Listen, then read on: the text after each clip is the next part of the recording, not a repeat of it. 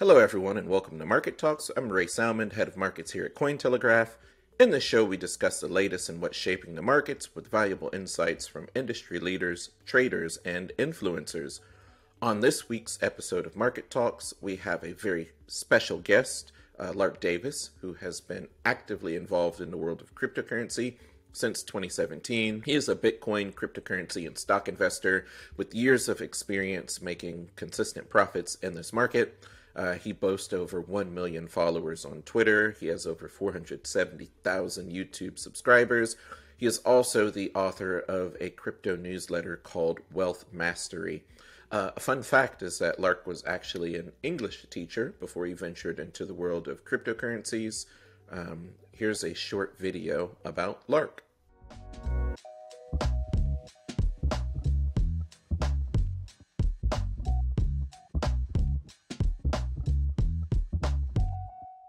So, welcome, Lark. Thanks for coming on today. Thanks for having me on. Excited to be here.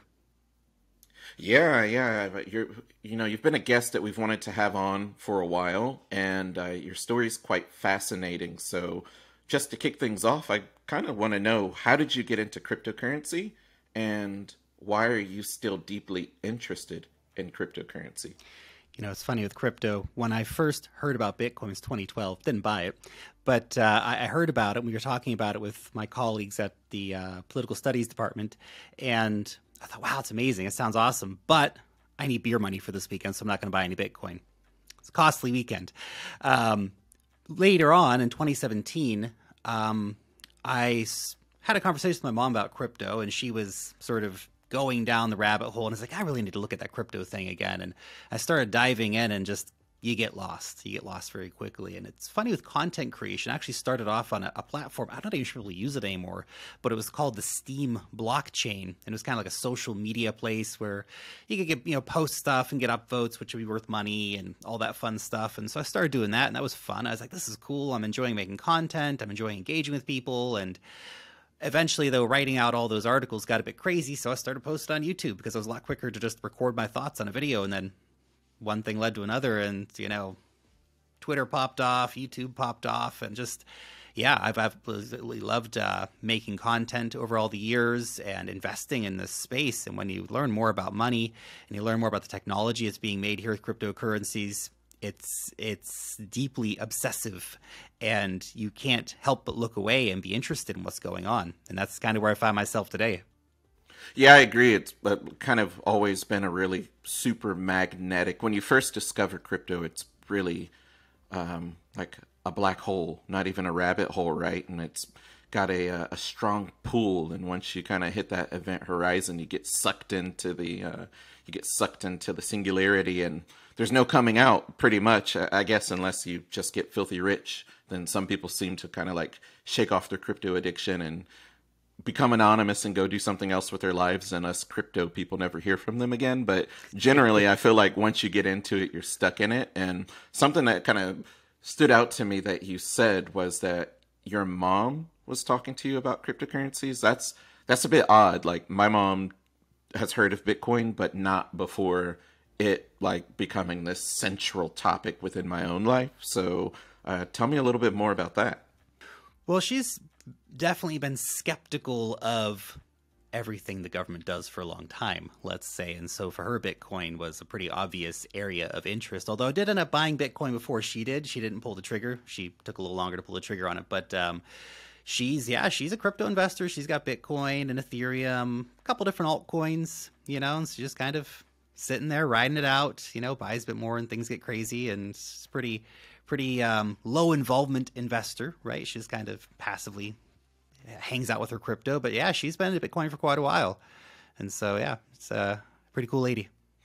I think, given the very short duration of bull markets, because in crypto, the bad times last a long time, and then the good times happen so fast and they end quickly, right?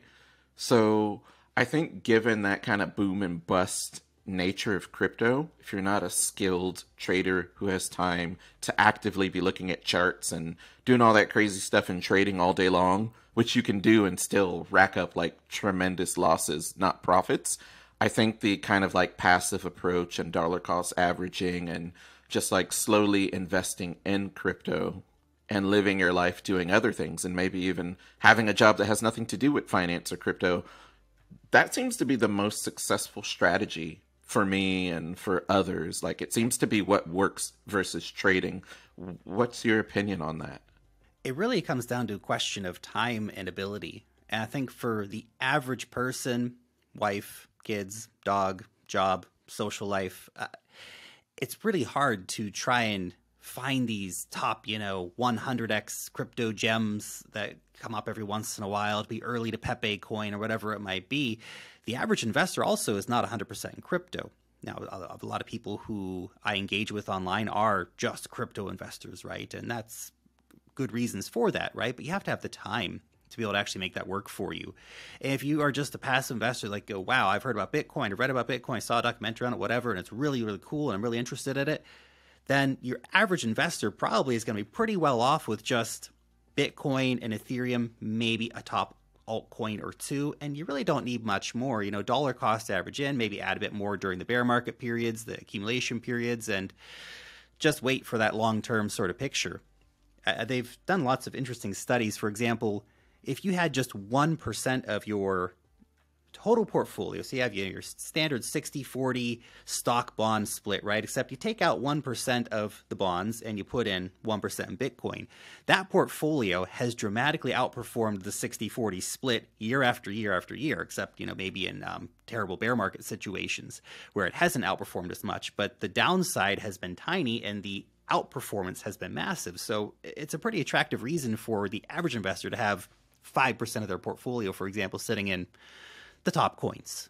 Even right now, year to date, Bitcoin price is up 50%, um, outpacing equities markets. And even though equities markets have been surprisingly strong and doing well, everything rebounded well from whatever had crashed the market, all these continuous rate hikes. So, um, yeah, I agree with mm-hmm. you. I see value in that approach. I like that you mentioned that um, you know that people might consider a 1% to 5% allocation of total portfolio to crypto. And i know that you have a lot of subs and a community that you're active in and newsletter subscribers and all that. So um, just anecdotally what would you say is your kind of estimate on most the most of the crypto investors that you interact with?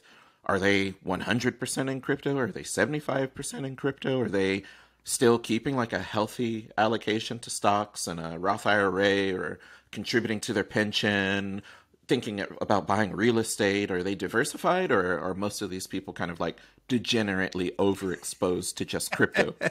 Meme coins and NFTs only, man.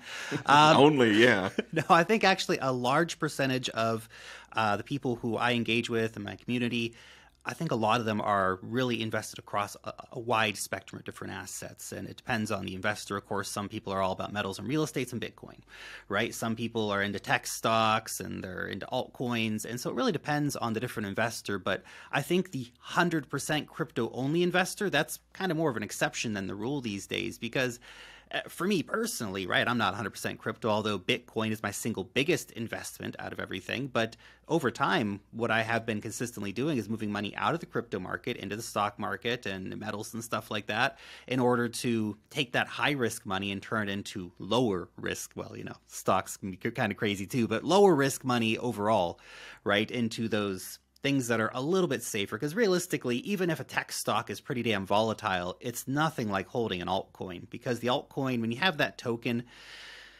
all kinds of craziness can go on and so many altcoin tokens go to zero. So if you held netflix stocks you bought the top you held it down but it go down 80 90% you still own netflix stocks and it's still a good company with hundreds of millions of customers and a lot of potential in the future versus a lot of the altcoins that we uh, speculate on those don't have such a great future, and that once the price of those has gone down quite a bit, they're in really tough financial situations. Often the companies are, because even if the developers had the best intentions and stuff like that, suddenly they don't have any money to pay for anybody anymore. They ran through their initial two, three, four million dollar raise in the first year or two years on developers and high intensity stuff, and then they were hoping, well, we're going to have this token treasury that we can draw from in the future, except that it's not worth anything anymore. So it's a very, very different thing. And I think for most investors, unless you have that huge amount of time in your hands to really be able to go into the altcoin forest, be able to chase airdrops, get into new DeFi farms, all this kind of stuff. It can be pretty tricky. And that's, you know, it's part of what we do in our newsletter, Wealth Masteries. We talk about this different kind of stuff. Are the people who do want to find what's going on in the market, but don't have so much time, you know, because it's hard to find all that information. I agree, yeah. Pretty much, if you're a researcher, you need to carve out your own niche. It's near impossible to keep a pulse on ordinals, DeFi, LSDFi, Ethereum staking, on chain data, Bitcoin price action, macro stuff, meme coins. Like it's airdrop farming. It's it's near impossible um, to do that. And I, I think that good investors figure out a process that works for them, that's tried and true, uh, and you just repeat, rinse, wash, repeat. It's like you ideate, prototype, test, and then produce something. So uh, that's really interesting advice. I like that. One thing I would add is you know have that little bit of experimentation money on hand right it's one thing that um, is also i suppose a, a, risk to your portfolio so to speak is becoming um, to, to a situation where you don't try anything new because like well what i have works and if it works great. You know and that's uh, that's definitely I, I i really live by that motto. Like i know what works in my investing journey and i generally stick to that. However uh, maybe it's because i'm a content creator and we do the newsletter and all this stuff. I'm always experimenting with stuff. I like trying out um, you know new defi platforms and spend a little bit of time farming airdrops and stuff like that just because it's uh, i'm interested in the process. I'm interested in, in how it works. But it it would be definitely something like I would never put uh, you know 100% of my Ethereum into some new DeFi farm, right? And that's I think the mistake a lot of people make. They think, oh, well, if I'm going to do it, it has to be all or nothing. Instead of like, hey, you know what? I can actually take 50 bucks and just just play with this platform, try out this new blockchain just for fun to see how it works, to learn more about the technology, to learn more about the different applications that are available and what they do. And that kind of can give you a- enough of a taste to understand if like, well, you know, I went, I used Solana DeFi for a week and I spent 50 bucks on it and it was kind of cool, but you know what?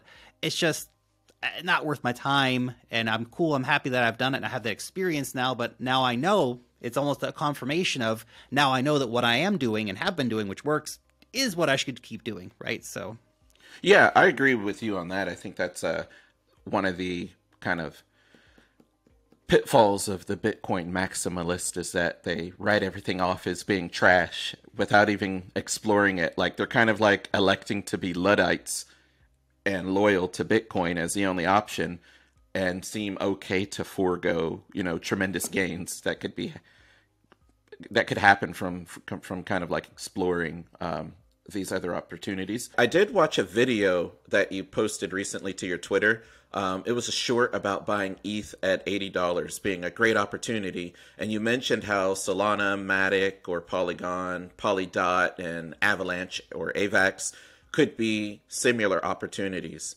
Um, what's your rough assessment criteria for determining which of these coins might be able to run with the big dog, which I assume is Ethereum or yeah, Bitcoin? Yeah, yeah. Um, because you said you know there's some some similarities and market cap comparisons from then till now and network activity yada yada yada. There's a reason why ethereum is successful um, i don't think prior to the nft bull market or even defi summer many people could identify that these would be the reasons why ethereum became successful. Uh, but what are your just general assessment criteria for yourself trying to figure out which one of these coins, Sol, Matic, Dot, AVAX, which one might be the one that could that could go big again? Yeah, that's a very interesting question. I mean, that video was really just making a simple market cap comparison because a lot of those coins were at a similar market cap to what actually Ethereum was at the bottom of the last bear market.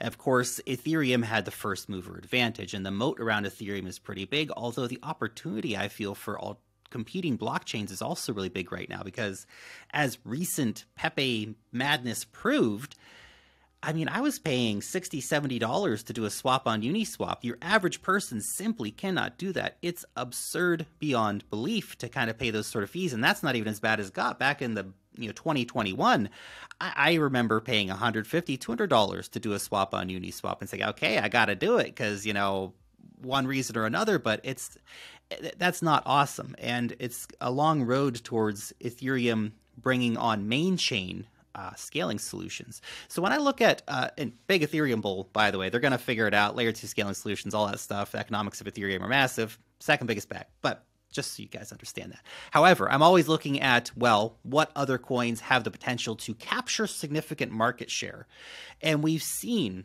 what we're seeing right now. It, it's so unlike the previous uh, bear market for smart contract platforms because 2017 Ethereum ICO boom, 2018 no purpose, right? ICOs were over. What were we going to do on the main Ethereum chain now? Oh, a couple things were starting to come out. I think MakerDAO launched in 2018, maybe 2019, early 2019. So we started to have a few things actually being usable on chain. We had some decentralized exchanges, but they were terrible. 2019 Uniswap, or maybe it's late 2018 Uniswap, finally started taking off and stuff like that. But it was really, really just very few use cases. The advantage that Solana, Avalanche, whatever else has right now is they just get to launch their technology and then plug everything straight in. They they can come in and say, okay, well within a few months time we have dexes, we have NFT platforms, we have DeFi platforms, we have games, all this stuff. We have devs want to build on our blockchain because we're you know smarter, faster, whatever uh, sort of stuff. So looking at okay, what can be the next big thing? Things that I keep an eye on, which is why, for example, I'm quite bullish on uh, Avalanche as an example do we see users showing up? Yes, we do. Do we see a mechanism that can help appreciate the price of the AVAX token over time? Yes, we can. That's they have a burning mechanism, much like Ethereum has. Do we see interesting scaling solutions that are going to add value to the network? Yeah, they have their subnets. That's definitely something that has the potential to do that. There are developers showing up. Yes, they are. For example, uh, off the grid, it's um, a game backed by um, Neil Blomkamp, the guy who made District Nine. So he's sort of the creative mind behind that uh, he's launching the, him and the team they're launching their game on uh, Avalanche. I'm an investor in Off the Grid, by the way, and in Avalanche, just so we're clear with that. But I am bullish on it for a reason, which is why I own it. And I think that we look at this sort of trend of okay, here it is. It's a bear market. This blockchain, the builders are still building stuff. They're still showing up. The metrics are actually growing during a bear market period. So that's the kind of stuff they're looking for. And it's not a perfect metric. Just to finish the thought here, because EOS did similar things in 2018. We saw a lot of metric uh, growth across the network, and then it completely failed because Block One completely abandoned it and walked away with their four billion dollars and said the community can run it now. So it's not always such an easy picture to say. Good assessment. So it's a mixture of fundamental analysis, technical analysis, and other factors like on-chain activity, developer activity, that sort of thing that exactly. kind of paint a picture of whether or not this could be a good investment, but in addition to that, investors should keep in mind that like macro events, central bank policy, mm. regulators' uh, distaste for all things crypto, these can all kind of like take the best laid plan and lead it to failure, can't they? Absolutely. And we've seen that be absolutely the case the last year to 18 months where it's all been about the macro. I mean, it's been the interest rates, it's been inflation, and now very specifically in crypto, which is so frustrating, right? Because uh, Apple just hit a new all-time high the other day. Nvidia hit a new all-time high. We're seeing, you know, the Nasdaq looking pretty sweet recently and stuff like this. And yet crypto's down so much because we are very specifically as an industry under such intense scrutiny by US regulators right now with major exchanges getting uh, sued by the SEC. Even you know Coinbase, they they asked for years and years, can you please give us any kind of regulatory guidance? And they just said no, and then the lawsuit shows up. And so it's it's really a crazy situation for crypto specifically, and yeah, we're just going through the cycle. 2023, I never expected that there would be a new all-time high this year. I would be happy to be proven wrong, by the way. If, if you market bulls want to pump us up to a new all-time high, great, I'm here for that. Yeah, but I always thought 2023 is going to be kind of like 2019, and I still think we could go higher in 2023. My target was uh, 48k, but we'll see how we play out for the rest of the year. But I don't expect a new a new all time high before the Bitcoin halving, for example. So with all this macro crazy going on, and you know the U.S. Treasury Department about to dump uh, what a, a trillion dollars of T bills into the market, it's going to suck up a lot of liquidity for stocks and for crypto. Yep, I agree with you on that 48K kind of target for Bitcoin this year as probably the highest. Maybe if there's some euphoric blow off top or squeeze on shorts, maybe 50, 55K, but I'm afraid of a 55K um, target being hit because then I think the retrace back to kind of like the median price range will yeah. be pretty strong. Whereas hitting 48K is kind of like possibly where a lot of people are above break even and looking to take profit. Mm-hmm. And you can begin to then look into the mid 30s as consolidation and support is that next leg up um, leading into the next halving cycle, yada yada yada. But of course, I dig it. We're, we're yeah right. Those, same there's, page. There's, yeah, we're on the same thing. Yeah, there's a lot a lot of moving pieces in in that. Now, I like that you talk about um, the potential for new all time highs one day, but probably not in 2023. So, what do you think might be the major catalyst that propel Bitcoin price to a new all time high? or at least form the base structure for the next bull market. What things do you think need to happen? What events are you looking for, whether they be crypto specific or geopolitical sure. or involve macro also? Like, in your vision, what needs to begin? What puzzle pieces need to connect to then eventually lead us into the next bull market? there's a lot of different moving pieces, and any of those moving pieces can have varying degrees of impact. Obviously, we look at the macro stuff. What we want to see is interest rates start to come down, right? Um, we also want to see more money printing, liquidity to rise. And right now, we are seeing money printing, but not in the USA. Um, not yet, anyway. I think we're going to see quite a bit of that uh, in the very, very near future.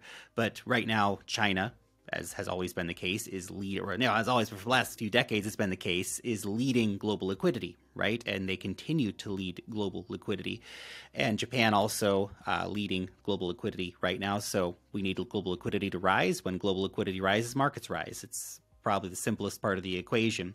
There's other very crypto specific things that um, we want to be looking for, and that's seeing an increase in adoption, for example, for Bitcoin, which is something that we are seeing. We can see more companies coming on board. For example, um, Tether, they've been buying Bitcoin recently and they're buying 75 million a month or something like that in Bitcoin at the moment, which is substantial, right? Now, they're a crypto native company, so it doesn't get the kind of attention MicroStrategy, for example, brought on board, but we'll see other big companies coming in. We're going to see more nation states coming on board. All this sort of stuff builds towards a picture. You look at on chain metrics, the number of people holding one Bitcoin or more on chain reached new all time high right? We're over a million addresses now. The amount of Bitcoin on exchanges just keeps falling. In fact, this time is different. And I know that's one of those things you don't want to say in investing, right? But this time is different because unlike all previous epochs of Bitcoin uh, halving cycles, this cycle we are seeing the supply on exchanges in a continual downtrend. Every cycle previously we saw, you know, a million Bitcoin more come into exchanges. Now it's just down, down, down, down, down. And how long can that keep going on with BlackRock and Fidelity and all the other major asset managers? 26% of family offices saying they want to get into Bitcoin. A majority of the top 100 uh, asset managers saying that they are interested, according to Coinbase, uh, saying that they are interested in getting uh, exposure to Bitcoin for their clients. I mean, all the pieces are coming together, and there will be inevitably a spark that lights off the the powder keg, so to speak. And when that happens is remains to be seen. I would imagine we need slightly better macro conditions for the market to feel like they can take that kind of risk again. But we have all these little things building up, basically adding more powder into the powder keg, essentially. Every time we get a new institution, a new corporation, a, a, new country talking about legalizing Bitcoin for payments or whatever it might be, this all adds to the inevitable reality that we are going to see another explosive bull market. The only question is when, and the most likely scenario for that, based on previous cycles, based on the current liquidity cycle, assuming the US doesn't do something dramatic in the opposite direction, is that we're going to see that probably playing out in 2024 after the Bitcoin halving, where we'll see this slow eventual rise up to the previous all time high and reaching a new all time high with blow off top. My guess somewhere early to mid 2025. We'll see how that goes. Very good assessment, and I like how you point to a lot of concrete progressions in Bitcoin accumulation. In your opinion, what's the most important thing happening in crypto right now?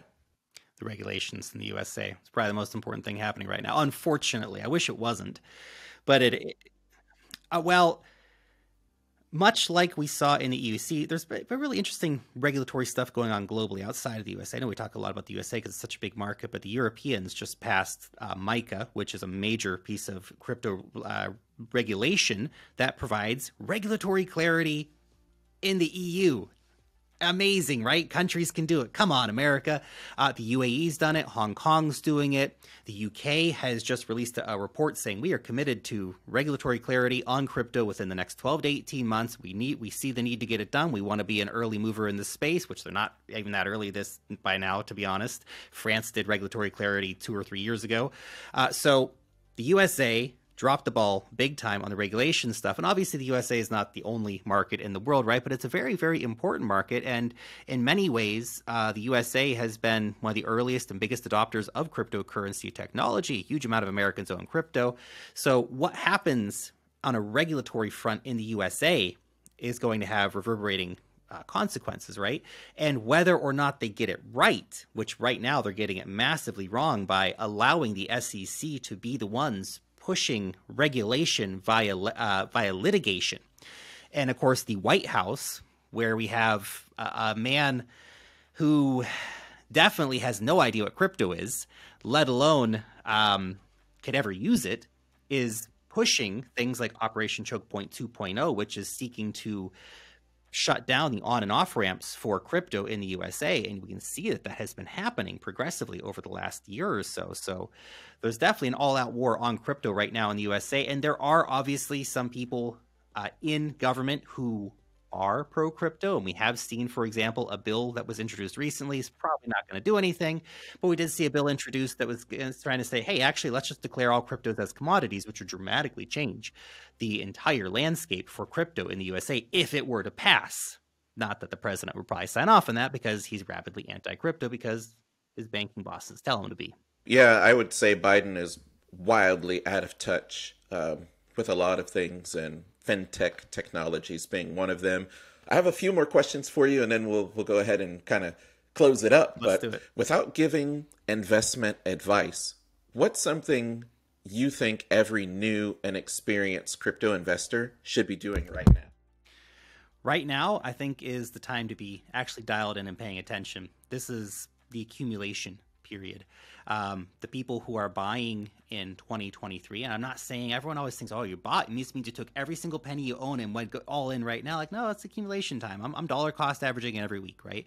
Buying more Bitcoin, top coins. Um, and I've got the view that, okay, well, I'm looking forward to late 2024, early to mid 2025, because the accumulation period now will end and there will be a new bull cycle. Only question is when that new bull cycle comes. And so this is what I have been focused on. And I think um, if you are an investor in this space, like now is the time to be paying attention. The unfortunate reality is that the vast majority of people will only pay attention at the worst and most dangerous time when it is the raging bull market and everything's going up and everyone's posting pictures of Rolexes and Coinbase is the number one app on the App Store again.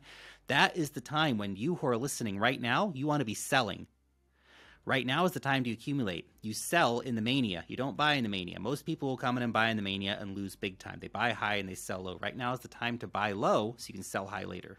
So if your friends that you don't hear from often or who you've tried to convince to buy Bitcoin for at least like seven years now, uh, and they never do. But at the top of the bull market, when your friends start asking you, "Hey, should I buy Bitcoin?" and it's trading for like fifty-five or sixty k a coin, that's probably time to think about taking a little bit of profit, isn't it? Yep.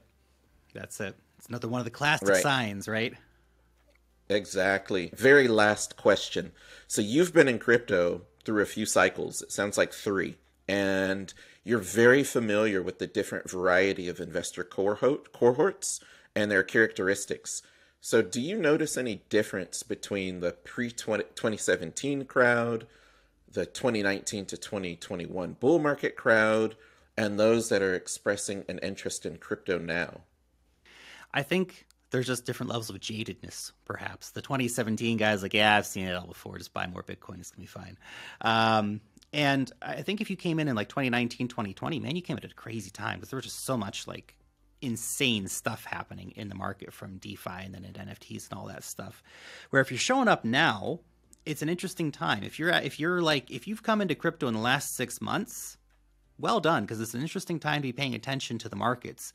And if you are that new investor, um, you got to take your time, learn about stuff. The good news is that now markets are quiet, so you do have time to take your time and learn about stuff. Unlike when you come in at May 2021 and everything's going crazy and you have this real intense FOMO. Now there's no FOMO. Markets are sideways, kind of boring, a little bit scary sometimes, but overall, you know, you have time to research stuff right now. So I think the longer you've been in the market in general, the more used to all this stuff are. I mean, if you if you invested in 2017, you've been through multiple China bans, you've been through all kinds of regulatory insanity, you've been through exchange hacks, DeFi hacks, all kinds of madness, bankruptcies, and on and on and on. So when you see the SEC suing both Binance and Coinbase in a 24-hour period, you're just like, okay, Meh. Who cares? You might not even withdraw fine. your coins from the exchange if yeah, they've been there. You know, if you're, that's you know, it. If you're ballsy enough to have left them on exchange, guys, exchanges are not event. banks. You know, yeah, yeah, get, yeah. Get your coins on your wallet. But thank yeah. you, thank you, thank yep. you. Yep, yep. Man, we're so aligned on so much, and it's been a real pleasure chatting with you. Um, actually, very refreshing. I feel like we hit all the different questions with great depth, and you've inspired me. I'm sure you've inspired the audience if people want to hear more from you and keep up with all of your insights and opinions, where can they find you? Uh, come and find me over at Twitter, Lark Davis on Twitter. So it's probably one of the best places to. We, we post everything there. You'll see the shorts, you'll see the videos, you know, the latest updates, fun memes, all that fun kind of stuff, guys. So come and follow me over there. It'd be great to see you. All right. Well, Lark, thanks for coming on today. It was great. Audience, you've been listening to Market Talks. We're here every Thursday at 12 p.m. Eastern. Uh, if you enjoyed the conversation, you know, click like, share it with people, subscribe. We're here weekly. Thanks.